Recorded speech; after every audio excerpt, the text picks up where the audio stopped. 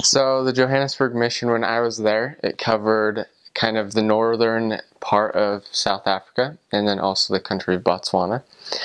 So the provinces that we covered or states that we covered were the Northwest Province, Gauteng, uh, Mpumalanga, a little bit, Limpopo.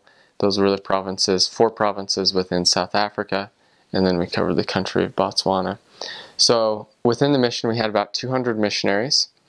Um, if I remember right, when I, towards the end of my mission, I think about 40% of the missionaries were African.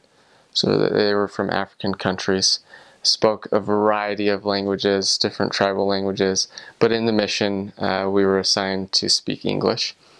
And within the mission, we had about six stakes, I think, when I was there. Now there's probably seven or eight, if I believe. I think it's about how many there are. There are. Um, and it's very unique in South Africa because you you have everything from small branches and even groups up to large, very organized stakes, and that's because the church has been there a long time um, in the white areas, and so it's been very it's very established there. But recently, missionaries started going to the black areas.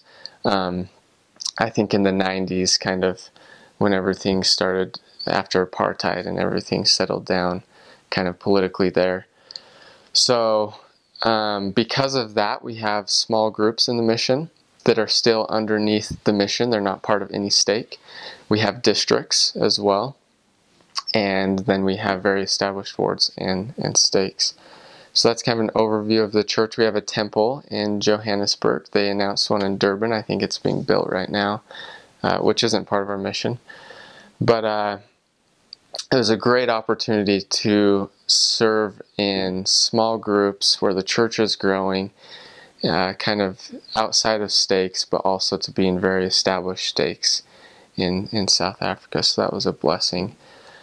Um, as well, to kind of understand the areas in the mission, um, there's kind of three types of areas that we classified, kind of three types of areas. Number one was town and that was kind of the more wealthy areas, uh, mostly white people, and since apartheid, uh, black people have started to move into towns a little bit. Then you have townships, and townships are where all the black people still are, where they were segregated during apartheid.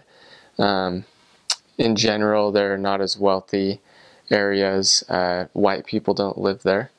Um, and then you also have villages kind of in Botswana and further out areas in South Africa. So usually your area was either a town, a township, or, or a village. And they're very different. We might get into those later with culture.